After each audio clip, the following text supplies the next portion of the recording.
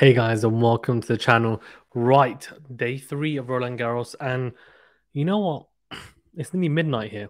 I'm not even joking. It's nearly midnight. Yet, it's nearly 1 a.m. in Ro- in Paris as well. I was going to say in Rome, but in Paris, and you can see. Look, Pablo Carreño Busta and Gilles Simon are still playing. Uh, but I thought, you know what? We're still going to get into this. We're going to do the roundup because otherwise we'll never do it. And then by the time we get into it, it's going to be the next day's play. So let's get into this. Before we do, do remember to smash the like button, please. If you haven't done so already, does help us grow a lot if you're watching on YouTube. And do subscribe if you're new as well. If you're listening or watching on a podcast platform, do remember as well to leave a rating or review. Does help us out a great deal. All right, let's get into this. As you can see here, Busta, a breakup in the final set. Looks like he's going to potentially go 5 3 up. Gilles Simon did so well in the first two sets in his swan song at Roland Garros. And I was watching it with a smile on my face, actually. I was watching kind of at the same time as watching Tsitsipas Musetti. Thanks to everyone who joined the live watch along for Tsitsipas versus Musetti live commentary. Of course, we'll be doing more watch alongs throughout the tournament, as we always do for all tournaments as well. Uh, so do keep an eye out for those. Venu did most of the uh, the live stream and the watch along. So thanks, Venu, and I joined and did uh, the last hour or so. So thank you guys for tuning in for that. Uh, Tsitsipas, though, in the end, uh, really, really interestingly came back from two sets of love down to win in five sets.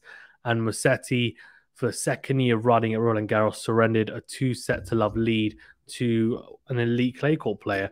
Last year it was against Novak Djokovic in the fourth round. He was two sets to love up and he surrendered that lead very, very easily after the third set onwards. And there's a similar story today.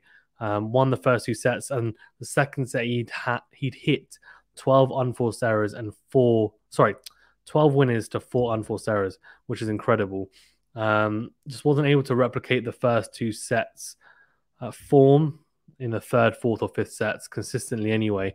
And he's just not able to keep up his level for three sets, I find. And that's why in the best of five, he comes out and comes undone, I guess, really. But it's a mental block, I think, uh, as well. And I think he would have had flashes about that Djokovic match last year. So something for him to look into. But for Tsitsipas, he avoided the upset, he avoided the shock loss.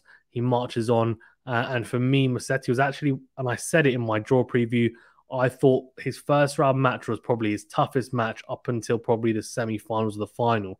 Uh, that's kind of how, not easy, but how maybe smoothly I think Tsitsipas's route can be. So, how much this match has taken out of him, I don't know. But I think realistically, he'll be happy with that. He knows, I think, how much of a threat that was. And he will be more confident going into the next matches. And I see him being okay now for the rest of the tournament. Uh, Vesely lost to Johnson in four sets. You can see Pouille beat Koller. Uh, sorry, lost to Koller even in four. Big surprise for me there, actually. I thought Pouille would have won, especially not just being French, but the fact that um, he's, for me, a better player on the clay than Koller. Sinner won in straight sets against Fran, uh, catch won in straight sets against Zeppieri. Uh, Cecchinato won against Andujar in five. A little bagel there as well. Nice to see. Carballés Baena beat Otter in five. Very good battle there and Gaston beating Alex de Minaur. What? Oh, I said it would be a close one, and it was. Look at that, Alex de Minaur bageling him in the fourth set as well, but somehow Gaston recovering in the fifth set and winning on a tiebreaker. That's how you recover. Very impressive from Hugo Gaston, and a big upset. Alex de Minaur has had a pretty good clay court season, so that's a fantastic win for the Frenchman. And Frances Tiafoe uh, coming through against Benjamin Bonzi, which I predicted. I did say it would be tight, and it was. Look at that 7 5 7 5 7 6. And Delbonis coming through against Mannarino 6 1 7 6 6 2. And Sonego beating Gutzwijk in straights as well. Rublev uh, winning in four sets to Kwani. Had a little bit of an outburst though, smashed the ball against, uh, I think it was like the bench, um, and it kind of rebounded and, and flicked uh, someone who was, was actually uh, cleaning or sweeping the courts uh, hit their hat and it kind of flew off. So he was a bit lucky it didn't actually hit him on the head. As if it had, he could have got defaulted very easily, smashed the water bottle. We know he has issues with some of his anger at times on court. He's actually a very nice guy off court um, and seems very likable, but just sometimes gets a little bit carried away. So needs to be careful in that. Um, we'll see how he gets on for the rest of the tournament. I think the clay, so he, almost surprisingly, he plays pretty well on it. So we'll see how far he can go. Goffin beat Lehecka in four, and Ruud beating Tsonga in Tsonga's last ever match, not just at Roland Garros, but ever in his career. He's officially retired. Some fantastic words after as well, saying, um, I'm a black player, I'm a white player, I'm a decorated player, as Jatem. Just say, I mean, he's just such an incredible player. Um, his career has been great to watch, such an entertainer. So sad to see him not kind of stay fully fit for as long as he would have liked. Um, but what we did see of him over a number of years was was great to see. And you know, I, am gutted that he didn't manage to win a slam as well. Of course, he made um, you know semi-finals. He made a final against Novak Djokovic at the Australian Open, lost that, and you know, for him, that'll be something I'm sure that he'll look back on and think, "Oh, I wish I'd won one." But uh, he's had an amazing career nonetheless, and uh, such a great player, just great personality, uh, and wish him all the best after retirement. But and look at that as well. He really, really gave Ruud a fantastic close match, taking the first set in a tiebreaker, uh, winning the tiebreaker 8 6. Lost the second tiebreaker 7 4. Ruud took the third set 6 2, and then lost the fourth set and then tiebreaker again, uh, but 7 love in that tiebreaker. So if he'd taken those three set, those three tiebreakers, he would have won the match. So tennis is a funny game. It really is. Uh, Molcan beating Coria in four. Medvedev beating Bagnis in three, Ruusuvuori beating Humbert in five. Humbert's terrible form continues.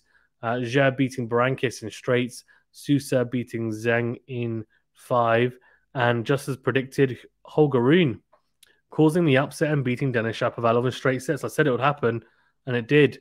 So call me Mystic Mike if you want, but I'll tell you what, Holger Rune is in great form. And look at this. Just as I said, that Carreño Busta looked like he was going to win. Gilles Simons broken back. He's 40 15 up on his serve. Uh, I don't know which one that, which way that's going to go. We'll see. Uh, Sabalenka beating Paquet in three sets on the women's side. Contreras Gomez beating Udvardy in straights. Kasatkina with a cheeky little bagel as well to Stramskova, winning in straights there. Halep with a very, very interesting match against Schnuck. Um, or Schunk, even, sorry. Won the first set, then got breadsticked in the second, and breadsticked in return in the third. Brengle won in straight sets uh, against, uh, oh, let's try not butcher this name, Buzanescu, Zidansek beating Liu in straights, Huvan beating uh, Mateva in straight sets, Badosa beating Ferro in straights, a bagel as well. Great to see her in good form. Pegula beating Wang in straights, good to see her playing well. And Giorgi beating Zhang in three as well, good to see her back. Kalinina got a walkover against Baptiste after being 5 2 up. Um, Putintseva beating Barra 6 3 6 1. Rogers beat Martincova in straight 6 4 6 3. And Sherif beat Kostyuk. That is a massive upset for me in straight sets 6 3 7 5. I cannot believe that's happened, actually. Massive surprise. Uh, Garcia beating Townsend in straights. Good to see Townsend back on court, though. And Alexandrova winning against Menin in straight sets. Cornet beating Doi in straight 6 2 6 love. Little bagel there, like that as well. And Danielle Collins also uh, handing out a bagel to Tomova, 6 love, 6 4. Pliskova winning, winning in three against uh, Adrian Yanfritimo. God, butcher that name big time. And uh, Krunic winning 6 4 6 3 against Rakhimova. Ostapenko beating Bronzetti in straights. Tomorrow's matches, I'm going to quickly go over those and then we'll wrap up. For the men's side, we've got Isner versus Barrere. Um, I'll go on Isner. Uh, Felix Auger-Aliassime versus Ugo Carabelli. I'm going to go Felix, Delian, Khachanov, Khachanov, Norrie Kubler, Norrie Zapata, Miralles against Fritz, Fritz, Gojo, Krajinovic. I'm going to go Krajinovic, uh, Badin, Cuevas. I'm actually going to go Cuevas. Zverev, Baez. I'm going to go Zverev. Djokovic, Molcan. Great match, by the way, but I want to go Djokovic. Munar, Schwartzman. I'm going to go Schwartzman. Ramonas, Vinonas versus Alcaraz. I'm going to go Alcaraz. Nakashima, Griekspoor. Going to go Griekspoor. Korda, Gasquet. Going to go Korda. Dimitrov, Coric. Dimitrov. Van der Zandschulp versus Fognini. What a match that is. I'm going to go Van der Zandschulp to cause the upset, which I think that is an upset because Fognini will be the favorite for me. Uh, Nadal versus Moutet, I'm going to go Nadal. Uh, then if we go on to the women's, We've got Bouzkova versus Mertens, a walkover actually for Mertens. Lucky her. She'll have to play. Uh, Danilovic versus Teichmann. Teichmann. Sansanovic versus Raducanu. Raducanu. Azarenka Petkovic. I'm going to go Azarenka. Kerber Jacquemot. I'm going to go Kerber. Kova Sakkari. Sakkari. Uh, Gauff Van Uytvanck. Gauff. Anisimova Vekic. I'm going to go Anisimova. Haddad Maia versus Kanepi. Kanepi. Kirsty Sloane Stevens. Kirsty. Siniakova. Fernandez. Fernandez for me. Tomljanovic, Gracheva. I'm going to go Tomljanovic. Bencic, Andreescu. I'm going to go Andreescu actually uh, to cause a little bit of an upset. Osorio Serrano versus Parry. I'm going to go Parry, um, the young French teenager. And uh, Gavrilova versus Kvitova. Kvitova, Linette Trevisan. I'm going to go Linette. Uh, so that is my predictions for tomorrow as well. Thanks very much, guys, for tuning in. Really do appreciate it. Do remember to smash the like button, please, if you're watching on YouTube. And do remember to subscribe if you're new as well. If you're a podcast listener or watcher, do remember to leave a rating or review. We'll see you guys tomorrow for day four's roundup. And uh, who knows, you might even have some cheeky little post match reviews, previews, or even a watch along to boot. Thanks everyone who joined for today's watch along for Tsitsipas Musetti. More coming on, of course, throughout the whole tournament. See you guys later. Thank